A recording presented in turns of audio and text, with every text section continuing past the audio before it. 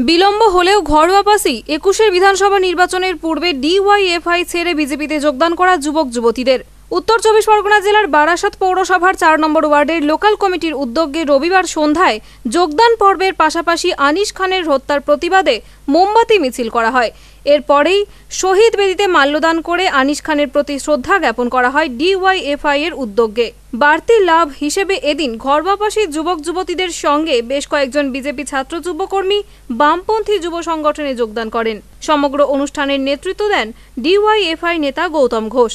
八十八一一一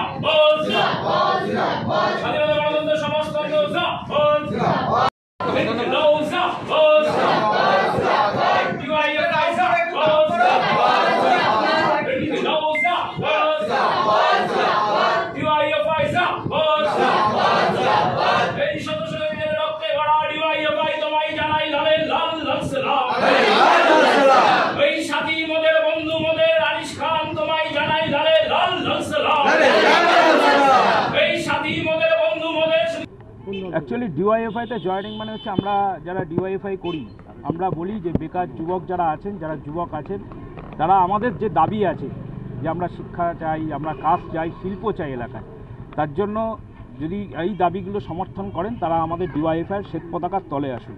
আর আজকে যারা আসলেন, তারা এই অঞ্চলের যুবক যারা বিরোধী দল করতেন, অন্য কোনো দল বিজেপি হোক, তৃণমূল হোক, সে যে দলই করতেন, তারা আমাদের কাছে ছেড়ে চলে গেছেন আমরা তাদেরকে বুঝাতে পারিনি বুঝাতে অক্ষম হচ্ছি তারা চলে গেছিলেন। আবার তারাই আবার আজকে ঘরে আসলেন ফিরে আসলেন ডিওয়াইএফআইটা। করতে শুরু করতে চাইছেন তারা ইচ্ছা প্রকাশ করেছেন। আমরা সংগঠনের পক্ষ থেকে তাদেরকে অভিনন্দন জানাচ্ছি স্বাগতম জানাচ্ছি যে তারা আসুক এই আন্দোলনে তারাও রাস্তায় নামুক। কতজন জয়েন করল আজকে এখানে প্রায় সত্তর থেকে আশি জন এখানে জয়েন করল। এরপরেও আমরা বড় কর্মসূচি নেব যেখানে দাঁড়িয়ে কোন কোন দলে তারা গিয়েছিল? মূলত বিজেপি ছিল তৃণমূলের থেকেও এসে তৃণমূলে সেইভাবে না আসলেও বিজেপিতে বিশেষ করে বিজেপি, যারা ভুল করে যে একটা হাওয়া চলছিল, সেই হাওয়ার প্রতি, তার জন্যই আমি বলার সময় বলছিলাম, প্রতিকূলতার পরিস্থিতি দাঁড়িয়েও আজকে বামপন্থী ছাত্র যুব আন্দোলনের সাথে এই অঞ্চলের যুবক, যুবতী আমাদের পতাকার তলায় এলেন।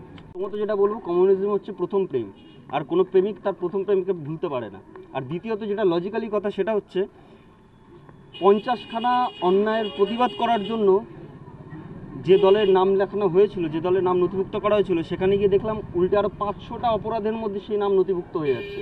পঞ্চাশটা অপরাধের প্রতিবাদ করতে গিয়ে আরও পাঁচশোখানা অপরাধের মধ্যে জড়িয়ে পড়ছে। সুতরাং যদি এই পশ্চিমবাংলার মাটিতে নতুন করে গণতন্ত্রকে রক্ষা করতে হয়, তাহলে একমাত্র লাল ঝান্ডা ছাড়া আর উপায় নেই। আর এটা যখন বুঝতে পেরেছি, তার পরের মুহূর্ত থেকে আবার কতজন প্রায় আপনারা জয়েন করছেন? আমাদের ছড়িয়ে ছিটিয়ে রয়েছে বারাসাত শহরে দেড়শো জনের উপরে। আর আমাদের ওয়ার্ড থেকে রয়েছে মিনিমাম সত্তর জন।